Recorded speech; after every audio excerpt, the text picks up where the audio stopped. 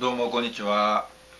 えー、今日はですね、えー、近況報告報告雑談ということで、えー、ちょっと僕の近況などを、え報告させていただきたいと思います、えちょっと週末ねあのまあ、週1で、まあ、動画上げたいなと思ってたんですけどちょっと週末上げられなかったので、えまあちょっとまあこういうあの世の中のまあ状態なのでまああの動画上げてなかったらあいつ大丈夫かみたいに思われたらあかんのでまあ、えー、週1ぐらいでは上げたいなと思ってるんですけどはい。えー、まあでもねあのもう本当にねもう奈良県も、えー、感染者がもう 1, 1日にまあ2人とか3人ずつぐらいのペースでもう確実に増えてて、えー、で、まあ、奈良県の、まあ、ホームページ見たら結構自分とこの町とか近隣の町で、まあ、感染者が出てるので どうなんのかなと思っててうんもうなんか時間の問題かなみたいな感じになってきててかなりあの緊張っていうかまああれですねプレッシャーそうですね。なんかプレッシャーみたいな感じになってきてますね。なんかね だんだんだんだんこう迫ってくるようなね感じがしてますけども、えー、そうですね。で昨日ね昨日だったかなあのおとついだったかな。あの阪神タイガースの片岡片岡選手。まあえー、おとおととしまでコーチやってはったんかな。片岡敦さんが、えーまあ、野球知ってる人だったらよしってあると思うんですけど、まあ、片岡さんが、えー、感染してで、まあ、病室から YouTube, YouTube やってはるんで病室からねあの多分スマホでやと思うんですけどスマホで撮って、えーまあ、感染しましたと、まあ、まあしんどいけど、まあ、頑張って戻ってきますみたいなね動画上げてはりましたけど、まあ、あれはちょっとね衝撃衝撃っていうかちょっとなんていうのかなすごいなんか身近に感じましたね。はい。あの志村けんさんの場合は結構ね僕あんまり志村けんさんのテレビとか見てなかったし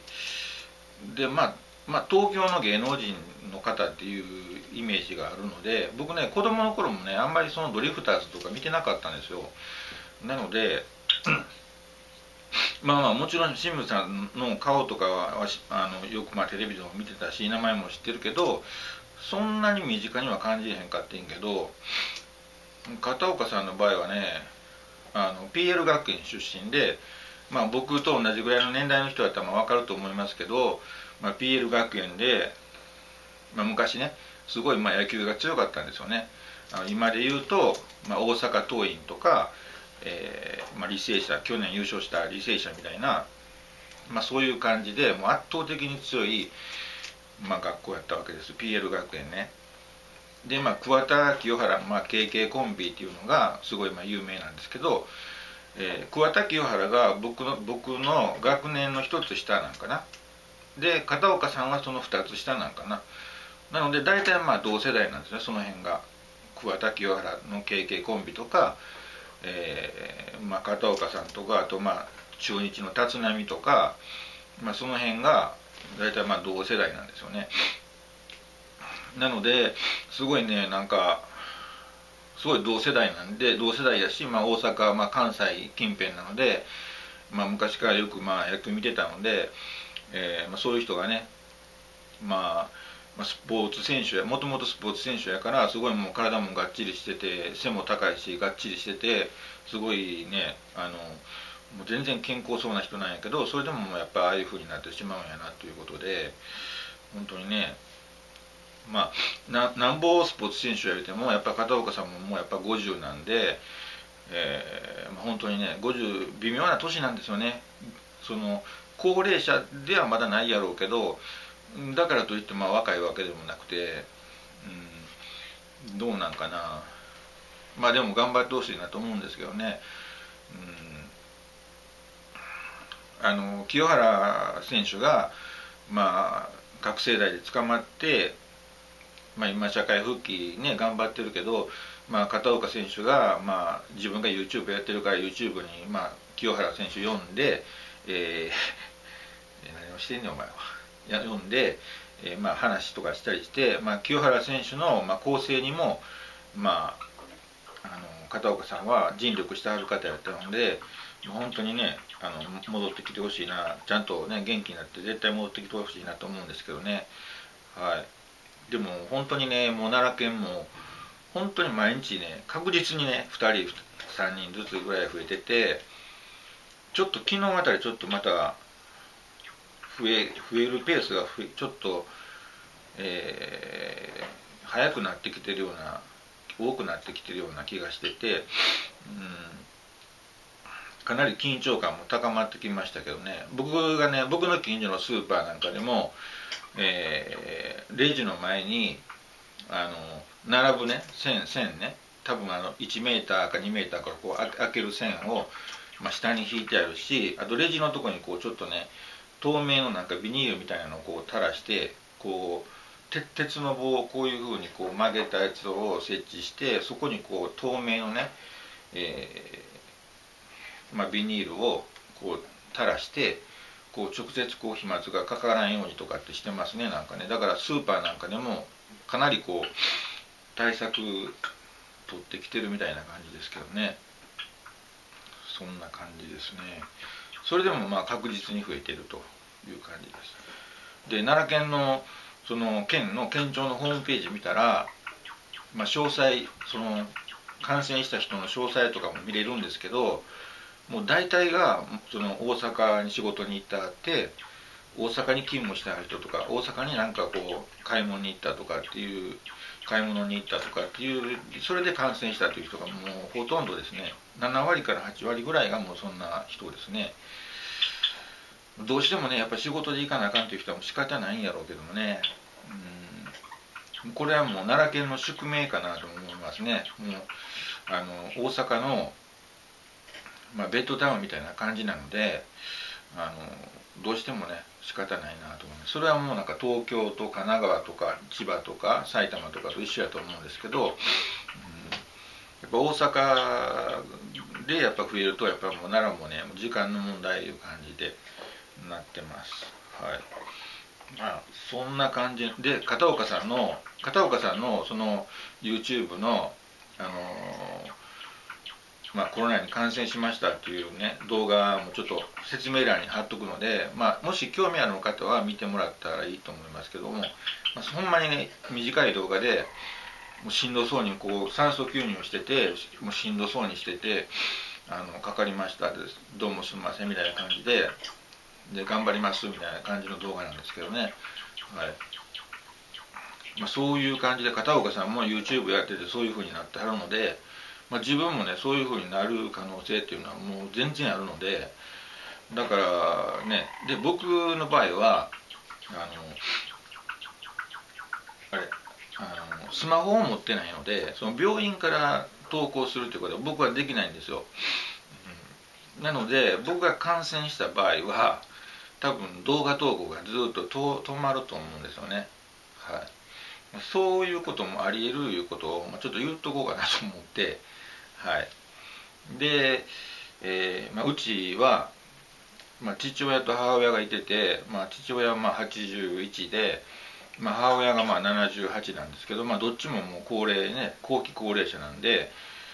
どっちもねそうかかってしまったら、えー、まあ大変なことになる可能性が高いのでそうですねだから僕がかかってもその投稿動画投稿っていうのは滞るやろうし、まあ、うちの親がどっちかかかったら両方かかる可能性もあるやろうけどそうなったとしても、まあ、動画投稿とかそういう余裕がなくなってしまうと思うので。はい、それでまあ動画投稿が突然滞るなくなるということも全然ありえるなと思ってるので、まあ、今のうちに言っとこうかなと思って、はい、まあまああのなるようにしかならへんので、まあ、そうなった場合はもう仕方ないなと思うんですけど、まあ、あのチャンネル登録して見てくださってる皆さんも本当になあの自分の自分が感染しないように、まあ、自分の家族が感染しないように気をつけて、頑張ってほしいなと思いますね。でまあ原薬に関してはまあいろんな動画僕上げてますけどまああの突き詰めて言うと、まあ、ベンゾジアゼピンのベンゾジアゼピンっていうのはすごい危険な薬やでっていうこと特殊な薬やでっていうこととベンゾジアゼピンっていうのはゆっくり、えー、ものすごくゆっくり減らさなあかんよということとものすごく減らすためには、えー、水溶液原薬が、まあ、合理的なんちゃうかっていう、まあ、僕がその動画を通じて言いたいのはこの3つぐらいなんで、まあ、それを分かっていただいてあとまああのアシトンマニュアル読んで、まあ、ウィキペディアの、まあ、説明欄に貼ってあるような、えー、ウィキペディアの項目を読んでいただいていただいたら、えー、自分一人でやっていけると思うのではいあのまあ、僕のね、まあ、動画投稿が滞っても、まあえー、コツコツねあのやっていただいたら、えー、絶対成功すると思うんで頑張っていただきたいなと思います。はいまあ、もしねあの僕があの感染してでも死んじゃったらもうそれまでだけど、まあ、まあ復活したりとか、まあ、うちの親がどうこうなって、まあ、一時的にねそのバタバタしてもまあ元気でいてたら、まあ、また動画投稿は再開すると思うんでまあまあ気長に待っていただいたらなと思うし、うん、こういう時にやっぱりねあのスマホやっぱ買っときゃよかったなと思ったりもしますけど、うん、でもまあ重症になったらそれもそういうあれもできないですよね。片岡さんもすごいしんどそうやったけどそれでもまだ軽症な方らしいですね、うん。まあ、ほんまに重症やったらもう全然もう口聞くこともできへんというかもう呼吸することができへんらしいので大変みたいですけどはい。まあそういうことでとりあえずですねだって病院なんですけどえー、席はまだちょっとね席出てるんですけど 席出ててで呼吸器内科に行こうかなと思ってたんやけどちょっとね今の状況がそのまあ2週間前3週間前にこう呼吸器内科に行こうかなと思ってた時よりももう緊迫してきてるのでその席がね席が止まらへんっていうのを呼吸器内科に行って見てもらうよりもそこでうつる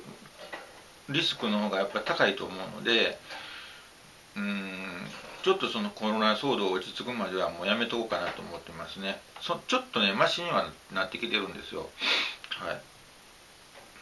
い。で名車の方もあのちょっとこう右目にちょっと右目の奥にちょっと水が溜まっててって言ってましたけど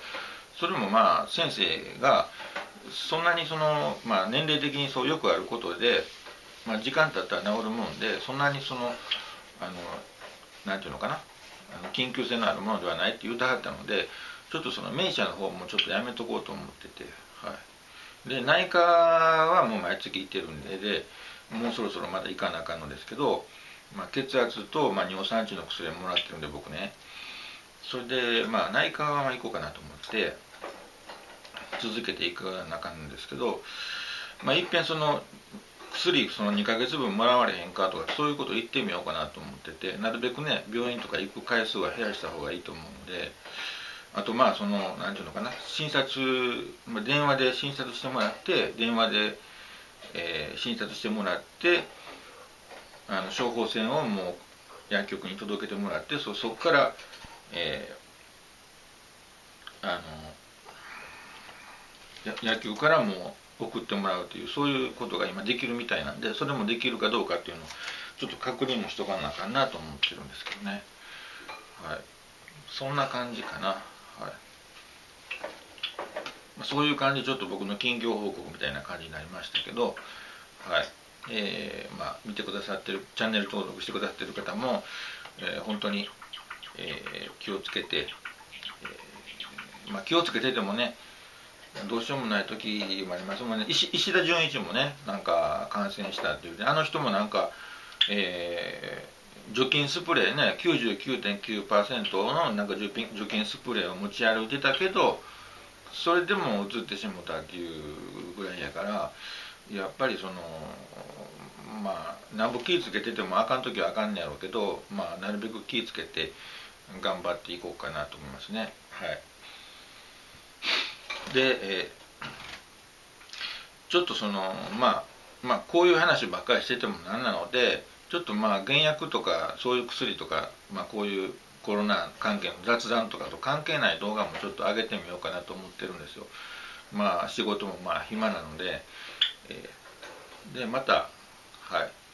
えー、動画上げられるうちはいろいろ動画上げていきたいと思いますので、えー、またよろしくお願いします、はい。えー、今回も、え動画見ていただいてどうもありがとうございます。うわ